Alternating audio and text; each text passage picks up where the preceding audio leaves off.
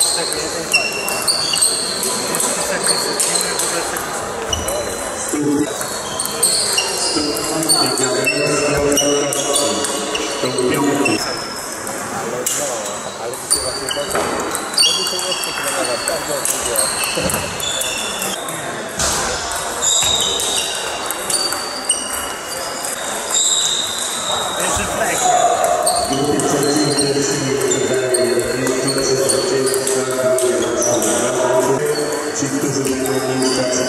It's been a very, very special